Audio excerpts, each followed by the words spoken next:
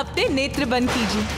ये कैसा अंधकार है? जिसने ब्रह्मलोक का प्रकाश ही हर लिया है? कौन है ये शिष्य? मेरे नेत्र बंद करने से जो अंधकार उत्पन्न हुआ उसी से इसका जन्म हुआ। इसके नेत्रों की दृष्टि जिस पर पड़ेगी वो अंधकार में डूब जाएगा। ये तुमने क्या कर दिया महेश्वरी? पार्वती किस चिंता में हो? स्वामी माँ को तो पुत्र की चिंता ही चिंतित करती है। गणेश यहाँ से जाते समय इतना व्याकुल क्यों था? जैसे वो मुझे छोड़कर ही ना जाना चाहता हो। पार्वती, चिंता विचार का विकार है। जीवन में उत्पन्न किसी भी समस्या का समाधान चिंता से नहीं, कर्म से ही प्राप्त होता है। इसलिए भविष्य की चिंता से वर्तमान के सुख का त्याग करना उचित नहीं। तुम्हारे पुत्र की मातृभक्ति अपूर्व है। वो तुम्हारे सानिध्य का सुख और दुलार पाना चाहता था। तो इसमें चिंता की क्या बात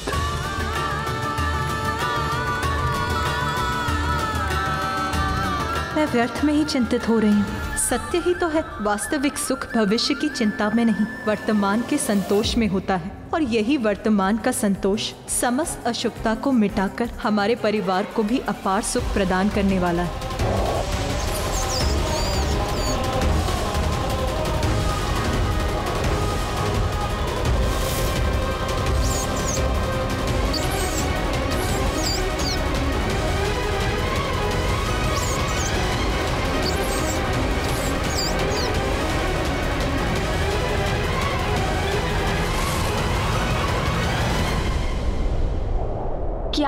है इस चिंता का, जो किसी गुप्त शत्रु के समान बार बार मेरे मन में प्रवेश कर उस पर आघात कर रही है?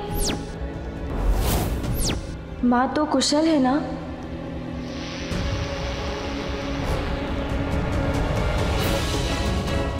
किंतु कुशल क्यों नहीं होंगी माँ? पिता श्री महादेव और माँ शक्ति का संयोग जहाँ हो, वहाँ भला महादेव की शक्ति का क्या हित हो सकता है? किंतु फिर ऐसी आशंका क्यों उत्पन्न हो रही है मेरे मन में?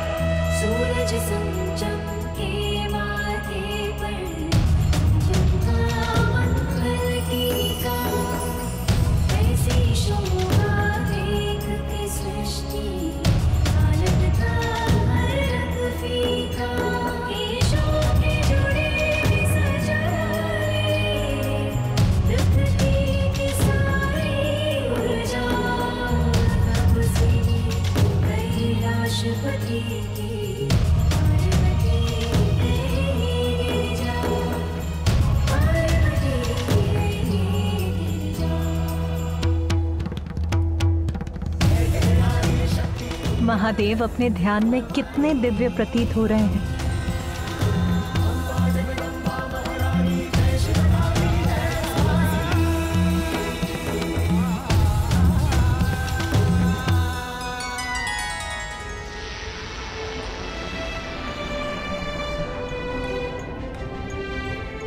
वो देखिए गणेश, वहाँ ऊपर।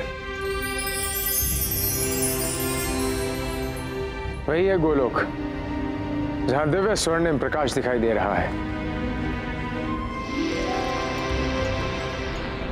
मूषक जी हमें इन दिव्य मेघों के पार जाने के लिए और ऊंचाई पर जाना होगा। अद्भुत है ये विशालता।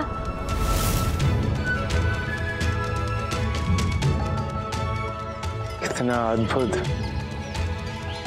कितना भव्य है ये दृश्य। हाँ प्रभु। आश्चर्य। गोलोक का द्वार तो इन दिव्य मेघों से निर्मित है।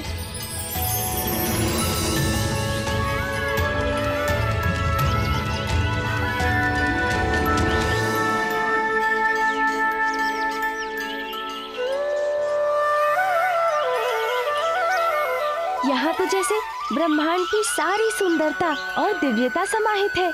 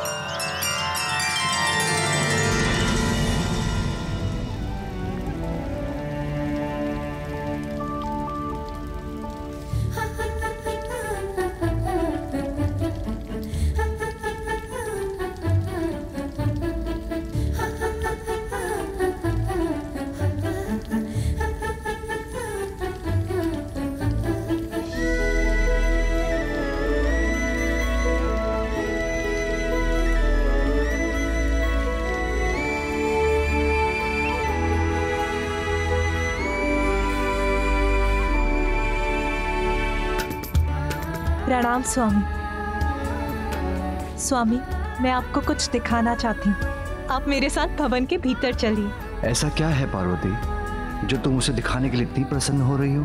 स्वामी वो तो आपको तभी ज्ञात होगा जब आप मेरे साथ चलेंगे।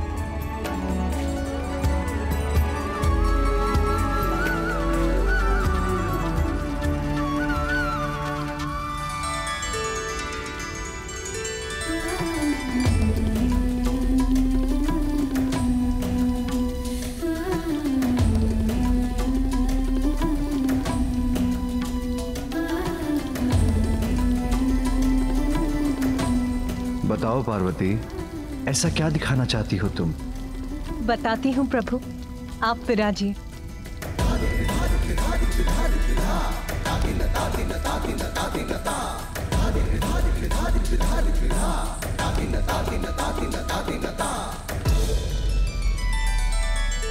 पार्वती अब तो मेरी उत्सुकता और जाग उठी है। ऐसा क्या दिखाना चाहती हो तुम? ऐसे नहीं स्वामी। आपको अपने नेत्र बंद करने होंगे। उमा। बस अब और प्रश्न नहीं स्वामी।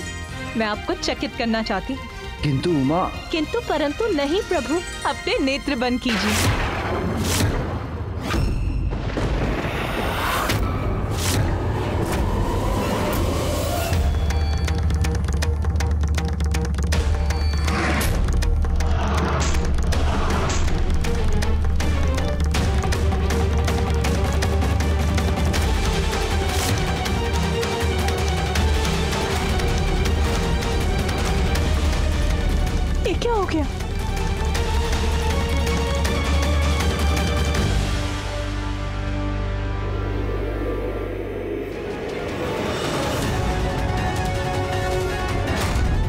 संकट है ये भयंकर अंधकार। ये उचित नहीं हुआ। स्वामी ये कैसा अंधकार है? जिसने ब्रह्मलोक का प्रकाश ही हर लिया है। देवी समस्त संसार को प्रकाशित करने वाली ऊर्जा महादेव के नेत्रों से प्रवाहित होती है। इसलिए यह अंधकार हट हठपूर्वक महादेव के नेत्रों को बंद कर उनकी दिव्य ऊर्जा को रोकने का परिणाम है।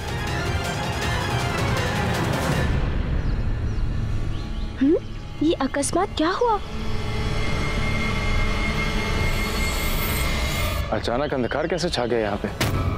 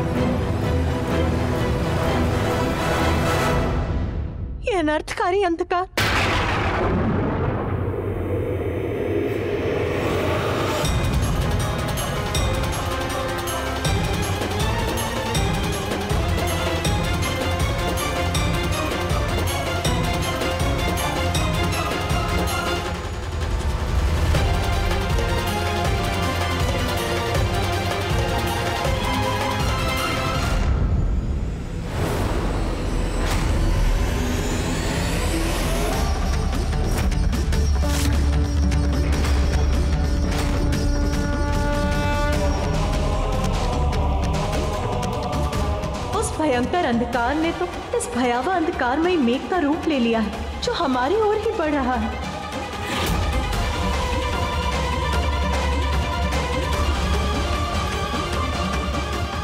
महेश्वरी ये तुमने क्या कर दिया?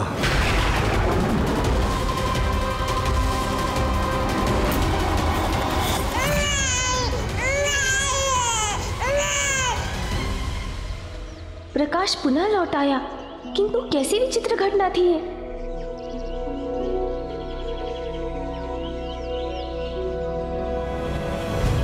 पल भर में उत्पन्न हो, नष्ट हो जाने वाले इस रहस्यमय अंधकार का मेरी चिंता से तो कोई संबंध नहीं। किंतु इस समय मुझे प्रभु को लेकर आगे बढ़ना है। चलिए प्रभु।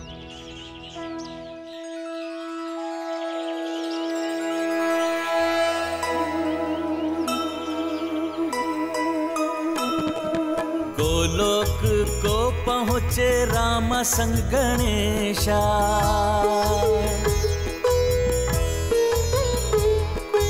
अचरज से देखे दिव्य आभा विशेषा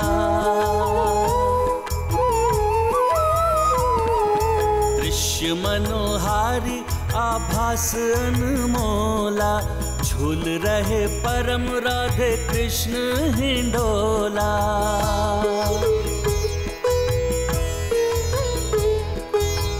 परम पिता ईश्वर के सम्मुख गजानन कृष्ण दरस किए सुमुख चक्षु स्वानन दिखलाए गणपति को दृश्य अनूपा, दर्शन किए शंकर उमा स्वरूपा।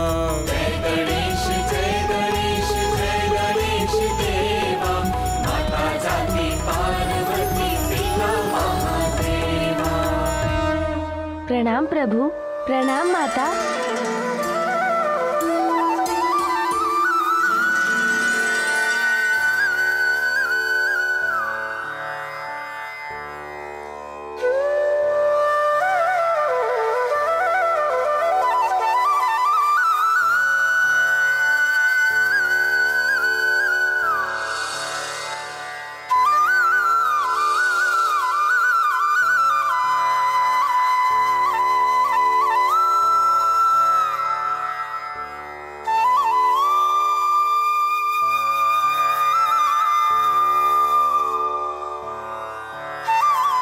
गोलोक में तुम्हारा स्वागत है गणेश। धन्यवाद माता। मैं प्रभु परम श्री कृष्ण और माता परम राधा का सानिध्य पाकर धन्य हुआ।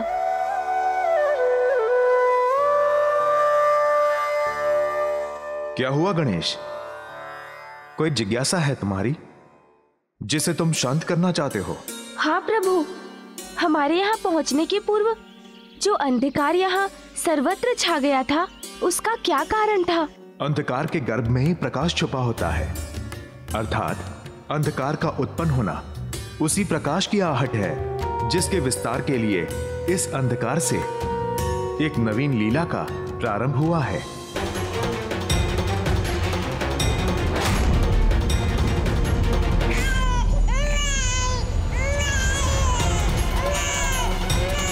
कौन है ये शिशु? कैसे उत्पन्न हुआ है और इसका रुदन मुझे इतना चिंतित क्यों कर रहा है?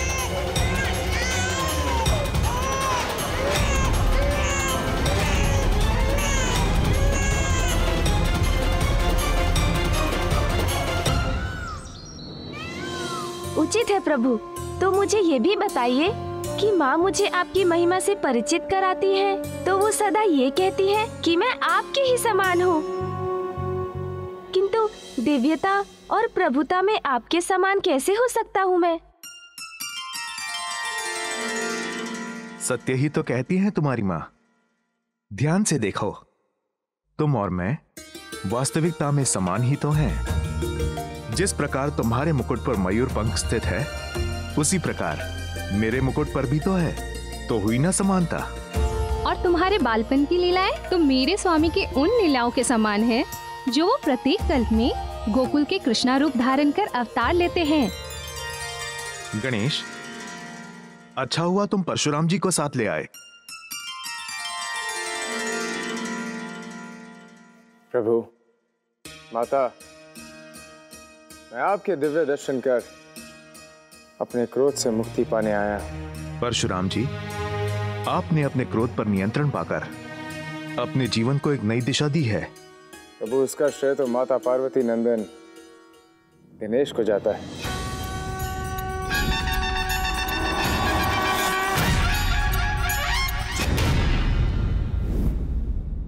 यदि बालक गणेश से मेरी भिड़न नहीं होती और मेरे द्वारा उनका दान नहीं टूटता तो मुझे कभी अपनी भूल का भान नहीं होता। किंतु तो जो हुआ, उसके पश्चात अब उस भूल के लिए मैं क्षमा प्रार्थी हूँ।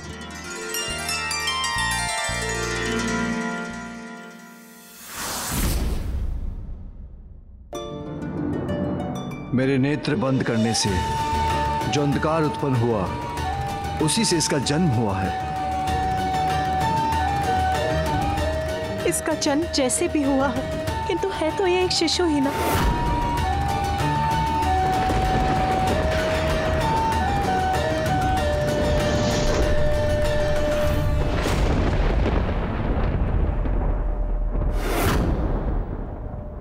उमा उमा।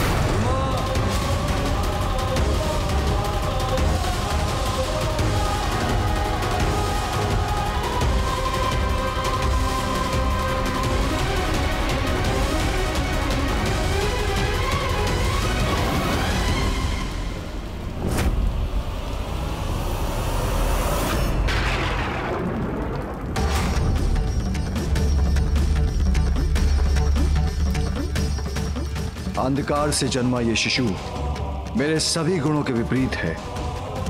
इसके नेत्रों की दृष्टि जिस पर पड़ेगी वो अंधकार में डूब जाएगा।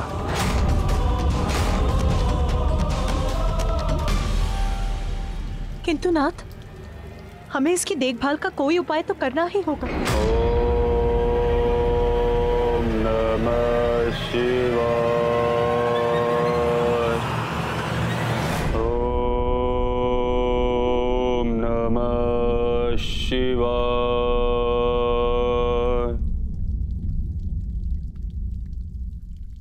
हिरण्याक्ष उमा कई वर्षों से हिरण्याक्ष पुत्र की कामना के लिए मेरी तपस्या कर रहा है। अब उन्हें उनकी तपस्या का फल देने का समय आ गया है। स्वामी ये शिशु तो अंधकार उत्पन्न करता है। फिर हिरण्याक्ष इसका पालन पोषण कैसे करेंगे?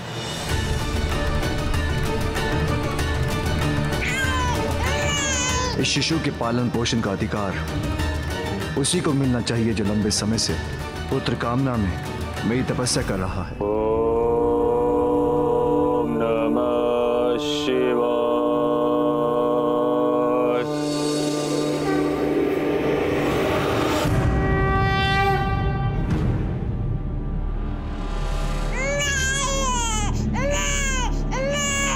अंधकार से शिशु का जन्म अवश्य हुआ किंतु हिरणाक्ष इसे सुसंस्कारों से परिचित कराएँगे।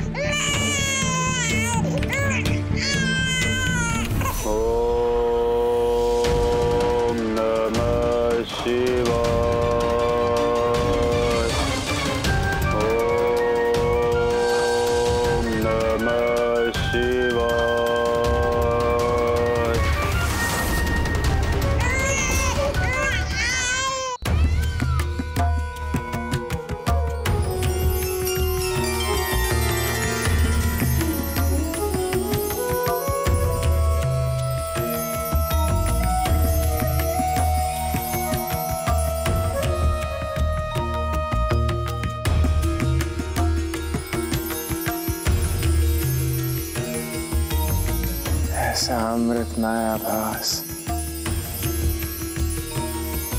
ऐसी परम सुख की प्राप्ति।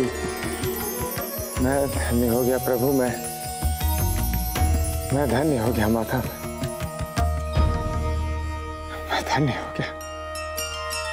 तमसोमा ज्योतिर्गमय। अर्थात, मुझे अंधकार से प्रकाश की ओर ले चलिए।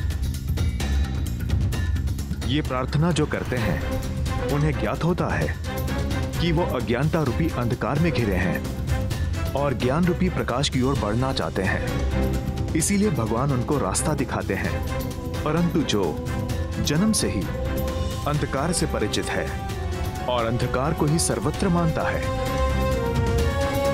उसे तो स्वयं भगवान भी अंधकार से नहीं निकाल सकते हैं।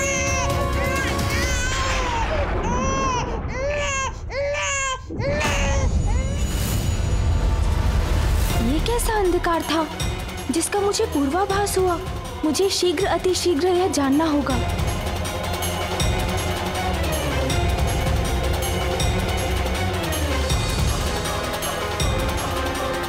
इस शिशु के पालन पोषण का अधिकार उसी को मिलना चाहिए जो लंबे समय से पुत्र कामना में मेरी तपस्या कर रहा है। हिरण्याक्ष। इस शिशु का जन्म भले ही एक भूल से हुआ किंतु हिरण्याक्ष जैसे एक असुर को इसके पालन पोषण का अधिकार देना वो तो और भी बड़ी भूल होगी। भूल तो हो चुकी है पार्वती। जो तुमने किया वो अनुचित था। अब उसका परिणाम तुम्हें ही भुगतना होगा। नियति अपना कार्य करती है किंतु उसके कारण हमें अपना कार्य या कर्तव्य नहीं छोड़ना चाहिए क्योंकि प्रत्येक कार्य के पीछे एक विशेष उद्देश्य छुपा होता है। अपनी भूल कैसे सुधारूं मैं? तुम्हें कैलाश छोड़ के जाना होगा। कठिनाई में पड़े अपने भक्तों की सहायता करते हैं आप। तो क्या इस समस्या का समाधान नहीं करेंगे प्रभु? नहीं उमा। माँ देखिए मैं लौट आया। माँ। पार्वती का प्रेम शिव की शक्ति किंतु जग कल्याण के लिए जब इन्होंने सहा विछोड़ एक दंत के जीवन की सबसे बड़ी चुनौती। इस हफ़्ते देखिए विघ्नहर्ता गणेश में।